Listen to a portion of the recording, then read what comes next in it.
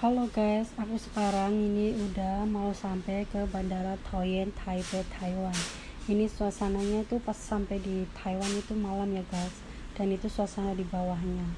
Ini udah menunjukkan bahwa pesawat udah sampai Taipei, Taoyuan. Kita mulai mau turun guys, ini di dalam pesawat ya. Dan ini aku udah keluar dari pesawat, mau menuju mau keluar kita berbondong-bondong tuh semuanya keluar guys. Ini di bandara Taoyuan Taipei Taiwan. Dan kita ini di briefing dulu yang baru datang. Bye